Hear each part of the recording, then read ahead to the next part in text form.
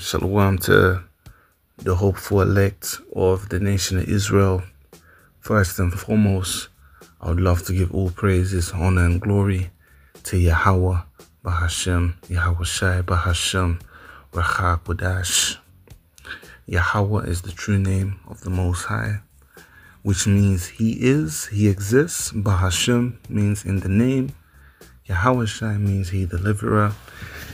He's the only begotten Son of the Heavenly Father. He only died for the Israelites, which are the so called Negroes, Latinos, Native Americans, including Israelite foreigners. We make up the 12 tribes of Israel according to the King James Holy Bible. Back at again with another lesson through the Spirit and power of Yahweh Yahushua. You know, and really, I'm just gonna delve into um, the seriousness of this, uh, you know, gospel, man. The seriousness of this gospel, because a lot of people like to play around and think this thing is some form of a joke, or think that this thing is a form of some kind of gimmick. And this video right here is a very, very, very, very, very serious video. Like I said before, man, Yahawashai made a very serious statement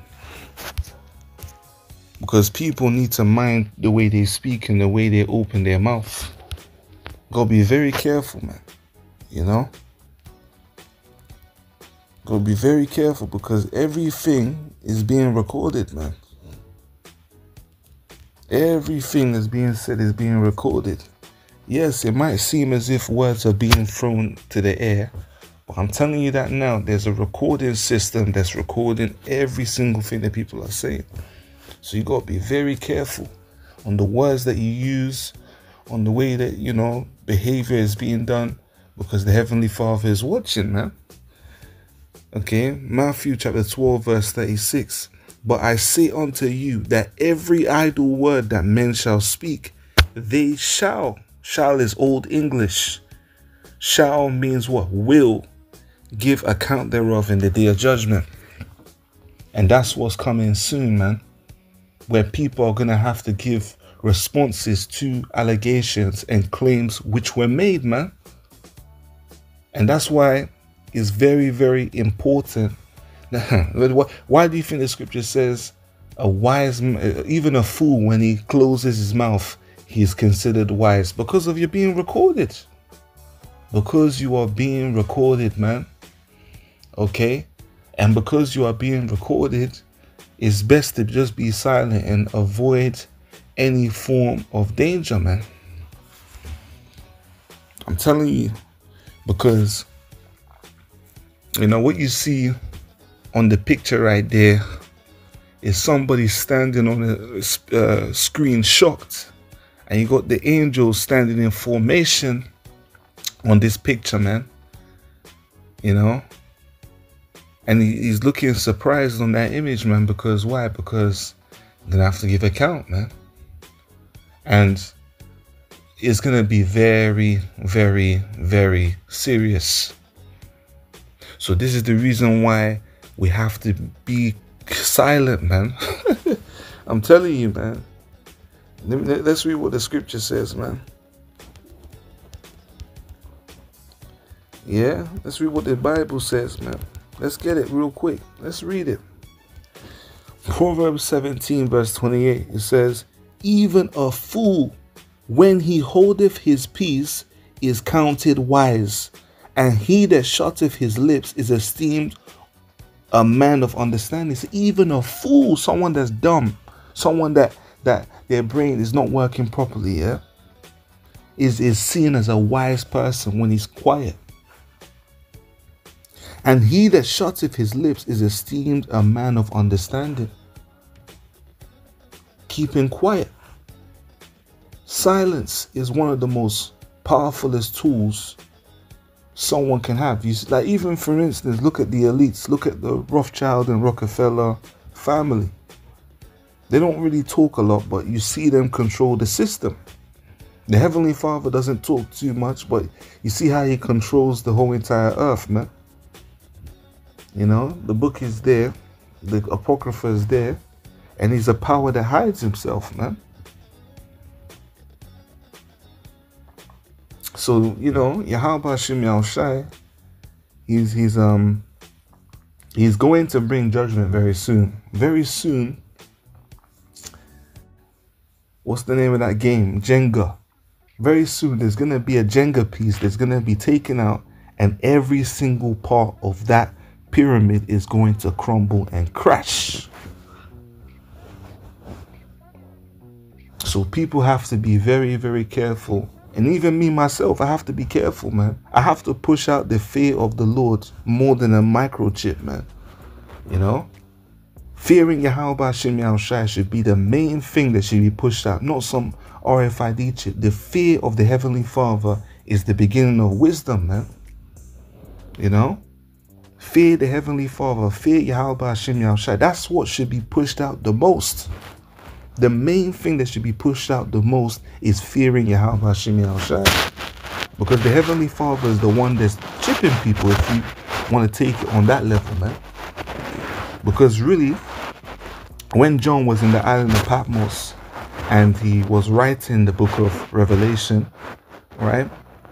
Technology never existed at that time, but it was ordained to come to pass, man. And when you read Revelation chapter 19, it tells you the beast deceived those that have received the mark of the beast. That's future tense. So if Revelation 18, let me let me delve into it real quick. Let me go into Revelation 18. All right, let's into it. So there's people that have been ordained by the Most High to take the chip.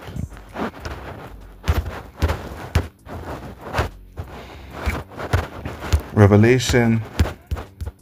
Let's read uh, Revelation chapter 19, verse 20. And the beast, which is NATO, which is an acronym for the North Atlantic Treaty Organization, the beast was taken, and with him the false prophet. The false prophet is what? The false prophet is what? The false prophet is the Roman Catholic Church because all these denominations of Christianity stem under the Roman Catholic belief system, right?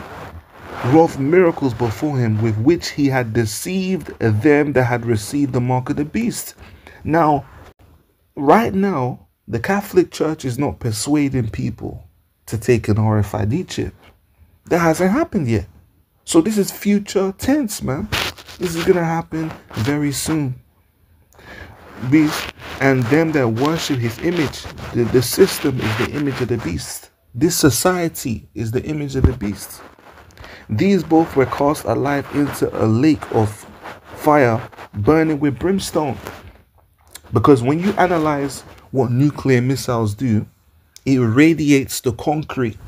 And once the nuclear missile radiates the concrete, the concrete is going to turn into charcoal, into burning coals. Because when you put, when you burn a stone, when a stone is on fire, that is referred to as a brimstone, man. So that's what the nukes and the the uh the ash from the merkabah, the laser beams that come out of those chariots that the angels are going to dispatch and emit. That's going to cause what the the the uh, the what's the name of this thing again? The the the, the brimstone, man.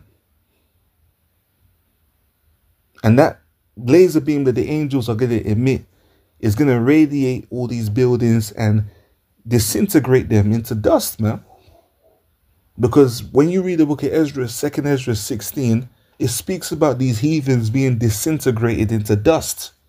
Like that movie War of the Worlds, man. So Yahweh Shimi Shai is not a God to be played with. Yahweh Shimi Shai is not a God to be played with, man. And very, very soon, people are going to start fearing Yahweh Bahashim Shai.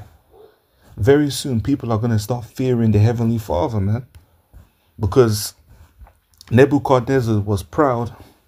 And what did the Most High do? The Most High turned Nebuchadnezzar into a mutant. He turned him into a mutant, man half human, half animal, and, and beast, man. He mutinized him. if that's a correct terminology, man. Okay? So this this thing is soon coming to an end, man. And the Heavenly Father is soon about to hit the hammer down for things to happen. So we gotta be on point on this thing, man, because you know the angels are watching what we're doing, you know, and the demons, the most highest villain, the villains of God want to see us fail. You know, the demons want to see us fail, man. They want to see us uh, uh, uh, be unsuccessful. And that's why we have to pray every single time, man. Pray instant, in season and out season, man. Because that every idle word that men shall speak. I'm telling you, man. be careful, man. I'm telling you, fear Yahweh Hashem Fear the Lord, man. If there's anything you can remember in this lesson, if you can't remember this whole entire lesson, remember what I said from the beginning of this video. Fear the Heavenly Father because the Most High is about to shut this place down. You know, don't think that Esau is going to be running around ruling the world, man. Very soon, when the Heavenly... Listen, this Bible, things have to come to pass, man. Yes, Esau is in rulership and the nations and everything, but the Israelites are written to rule, man. So this prophecy must come to pass. It doesn't. The Most High is not a respecter of person. Don't look at Elon Musk doing his AI and Bill Gates uh, creating um uh, microchip uh, birth controls. You know, we're focused on bigger things, man. You know, we're focused on becoming uh, primordials. So, anyways,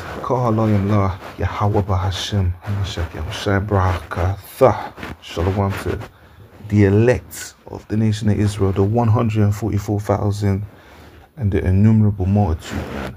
Stay vigilant, stay careful, because the adversary, the devil, is coming down like a roaring lion seeking whom he may devour.